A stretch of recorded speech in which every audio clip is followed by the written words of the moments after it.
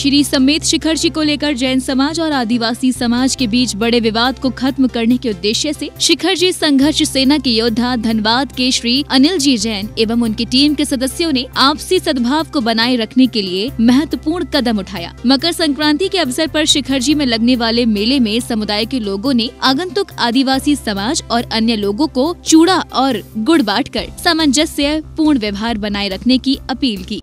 इतना जन सैलाब है और व्यवस्थाएँ बहुत अच्छी है और जो कुछ नकारात्मक बातें सामने आए, उस पर हम ये सोचें कि सौ में से एक आध व्यक्ति ऐसा होता है जो कुछ ऐसी हरकत कर देता है जो मन को अच्छी नहीं लगती है, लेकिन निन्यानवे लोग तो बहुत अच्छे से हैं, मन से हैं और यहाँ का जो आप माहौल देखिए, ये सभी लोग मधुबन के अलग अलग संस्थाओं के लोग हैं, जैन है, स्वच्छता समिति है और जनप्रतिनिधि है, सभी लोग हैं। तो एक बहुत अच्छा कार्यक्रम यहाँ पर हो रहा है। गुरुदेव के आशीर्वाद से हम सभी इस कामना करें कि पारसनाथ भगवान सम्मेद शिखर की पवित्रता स्वच्छता बनी रहे और हम सभी लोग मिलकर चाहे वो यहाँ के आदिवासी हो जैन हो सब मिलकर इस तीर्थ के संरक्षण में अपना योगदान दें। मकर संक्रांति के अवसर पर जब लाखों लोग शिखर जी में लगने वाले मेले में पहुँचे, तो शिखर जी संघर्ष सेना के सदस्यों ने मेले में पहुँचे आदिवासी लोगों का तिल और गुड़ का स्टॉल लगाकर स्वागत किया।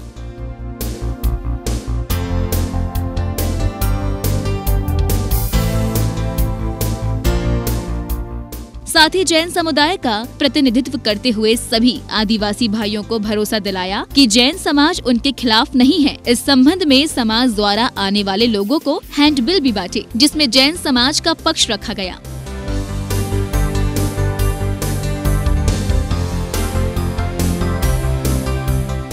इस संबंध में जैन समाज के लोगों ने अपनी इस पहल के संबंध में बताते हुए कहा कि सभी को धैर्यवान होकर सौहार्दपूर्ण व्यवहार रखने की ज़रूरत है।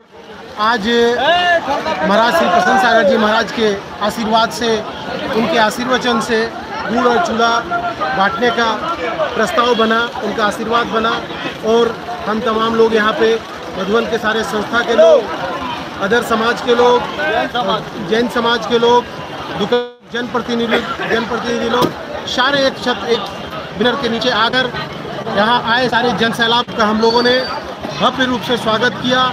गुड़ और चूड़ा प्रसाद के रूप में उन सबों को दिया।